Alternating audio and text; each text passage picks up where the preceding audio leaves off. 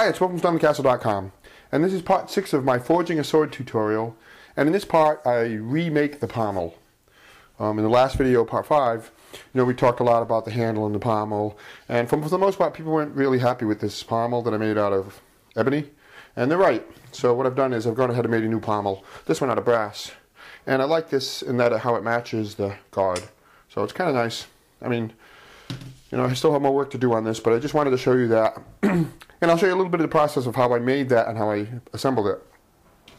Um, I started out, I was going to do a steel one, which kind of looks good too, but the brass, I love the brass because it matches. So what I got is I got a two inch thick rod of steel and brass, and I sliced off a piece like this. Three quarters of an inch thick to match the handle. You know, then I drilled a hole in the, uh, put a flat on it.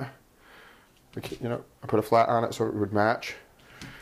And then I um, uh, beveled it a little bit, polished it a little bit, and then I drilled holes. I drilled a hole so the um, the tang can fit right into it. So I'll show you a little bit of that in this process, but kind of easy, basic, but looks good. This is much. I think this is much better than the other one. So that's part six uh, the pommel of the sword. And um, I love the weight of it now. Having a little bit of counterweight like that makes a difference. It feels a lot better. So let's launch into the tutorial. So I'll show you a little bit about how I made that. Alright, so let's take a look at the quick look at the assembly of the sword. The guard goes on, the handle goes on, and then our pommel would go like this, and this is um, before I've actually made it. There's the two inch, two, two inch diameter rod of uh, steel, then that can go on there. That's what I originally was intending. See, so cut a hole in it and mount that pommel on there like that. But I did get some brass, and that's much better.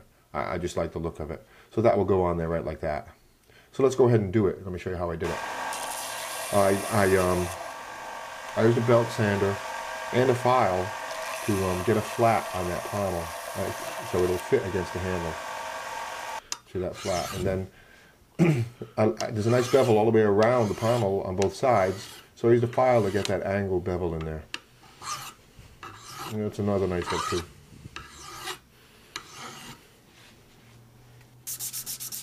I used some uh, emery paper to finish it off. Somewhat, I will do more polishing at the very end of this sword making. But for now, I just use some emery paper, about 400 grit.